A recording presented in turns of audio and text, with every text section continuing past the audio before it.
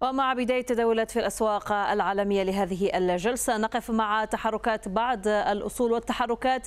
وتحركاتها الفنية وتحليلا ينضم إلينا في الاستوديو سيد هاني أبو عاقلة محلل أسواق مالية ورئيس قسم الأبحاث في أسواق المال dot com. أهلا بك معنا على شاشة CNBC عربية. نقف اليوم على تحركات بعض الأصول وبطبيعة الحال نبدأ من مؤشر الدولار التي كنا شاهدنا عليه بعض الحركة متذبذبة مؤخرا. يعني الآن بالنسبة لهذه المستويات برأيك القناة التي قد نشهدها للدولار الأمريكي في الوضع الراهن؟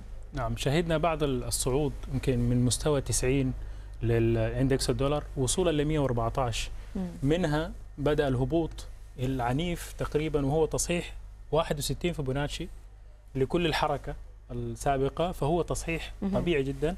الآن بنشهد مستويين اللي هو 105.7 و 101.6 أسفل هذا المستوى سوف يذهب ال index dollar index إلى مستوى 61 فيبوناتشي ما بين 90 و 98 ثم إذا أكمل فوق 105.7 سوف نشهد الصعود القادم للدولار يعني ربما حركة الدولار كذلك يتبعها عدد كبير من الأصول الأخرى كيف يتحرك الدولار. لدينا الذهب بطبيعة الحال هو العلاقة التي كنا شاهدنا استفاد من ضعف الدولار الأمريكي.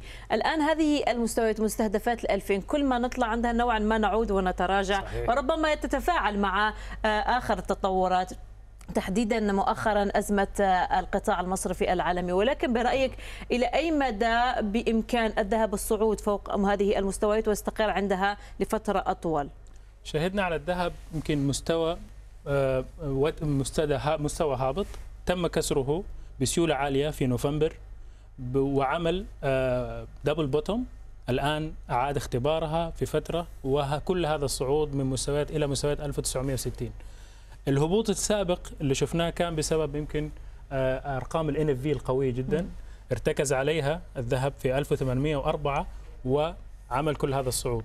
الصعود هذا كان هدية 70 80 دولار من Silicon Valley Bank و70 80 دولار أخرى من Credit Suisse ووصل إلى مستوى ال 2000 وهو مستوى حساس ومستوى قوي جدا.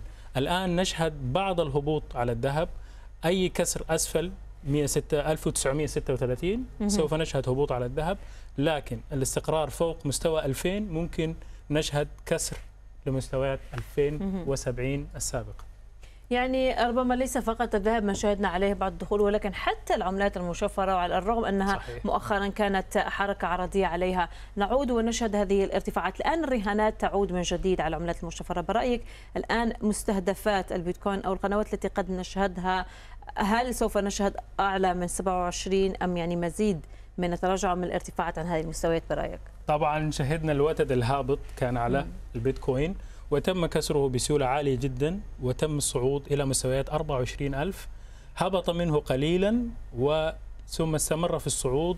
الهبوط الأخير كان قبل سيليكون فالي بانك فشهد الصعود القوي للبيتكوين. هذا كان بدعم بعدم الثقة في النظام التقليدي البنكي. والآن نشهد مستويات 27 28 الصعود القادم هو fundamentally بحت. شهدنا دخول شركة عملاقة Fidelity Investment بعملاء 35 37 مليون تقريبا وسيولة تقريبا 400.5 ودائع. هذا يدفع البيتكوين إلى الصعود أكثر. لكن أمام نحن أمام مستويات 30000 و 32000 وهذا منطقة supply ممكن نشاهد الهبوط منها للبيتكوين أو الصعود إلى مستويات 35 36 كل الأساسيات توضح أن البيتكوين على صعود وليس هبوط. يعني لدينا سلع أخرى نتحدث عن أسعار النفط التي شهدنا عليها كذلك التذبذبات نعم. كانت قوية.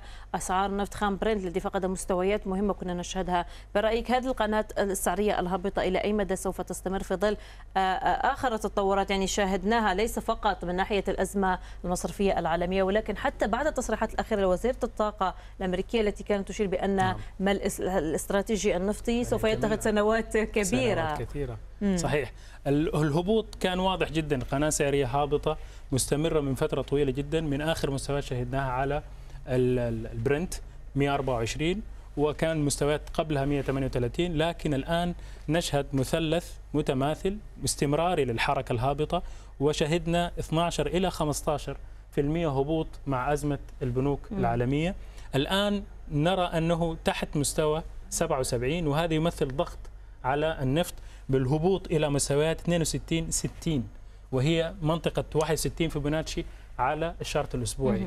ما ما الذي يدعم هذا الهبوط من ناحية fundamental أن العودة الصين لم تكن عودة قوية كان متوقع عودة قوية صح. للصين فقل الطلب. آه كذلك آه آه في أسباب أخرى آه من عودة روسيا. كان في تخفيض كان مطلوب أن يكون في تخفيض قوي من روسيا لكن لم يحصل.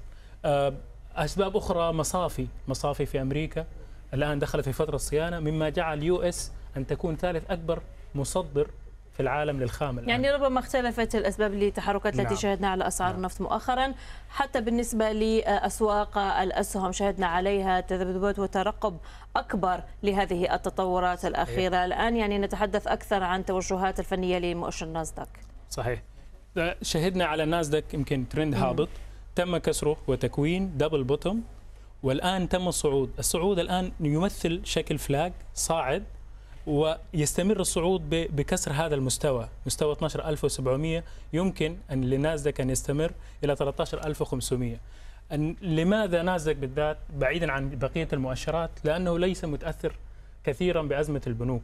عليه شركات تكنولوجيا ثقيلة جدا والأرباح قادمة في شهر أبريل ويمكن بسبب اللي أوف والتوفير في الإنفاق الرأسمالي يمكن أن يجعل هذه الشركات تحقق أرباح ويصعد هذا المؤشر.